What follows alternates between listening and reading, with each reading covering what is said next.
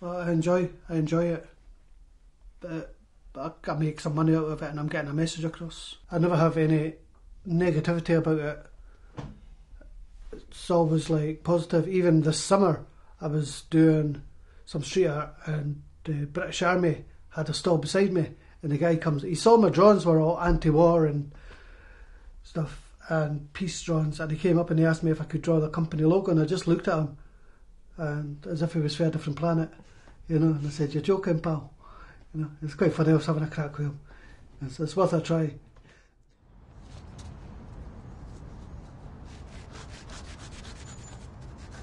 All my life I've known that you've done your street art.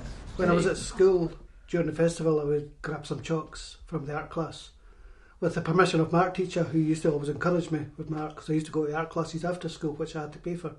From leaving school, I met loads of friends uptown, punks, drinking.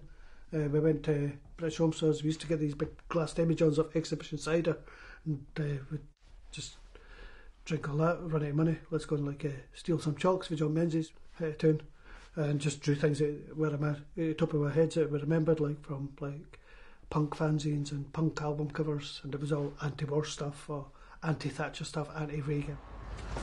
Do you consider the work art or propaganda for what you're think like as a way of spreading your political message? vandalism. Yeah. So, but if if you were to put it into art or propaganda, which would you prefer it to be? This art, of course, this art. All, all art is propaganda. All propaganda is art, like you know. This went down really well. Spot the real clown. Like as you can see, there's the real clown there. His name is David Cameron, and he's had his head chopped off and his blood dripping down. That went down really well every time I done that. My auntie Sandra was in town when I drew that. She thought it was brilliant. She said, "Mama, if my mum was alive, she would be proud of this drawing." That was done during the festival as well. It Went down excellently with everyone.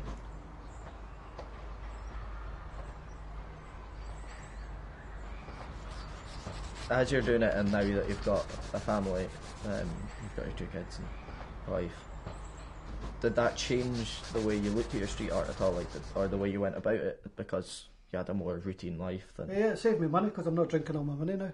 It goes on the kids. And what did they think of it? I think it's great. Yeah. I mean, then uh, I've got a wee garden, a wee bit of pavement outside, and uh, in the summer they're out there drawing with the chalks. Has there been any point where you thought of giving it up, like when you started your family or anything? Was there No. any time when you No. thought, I'll still be there when I'm a pension.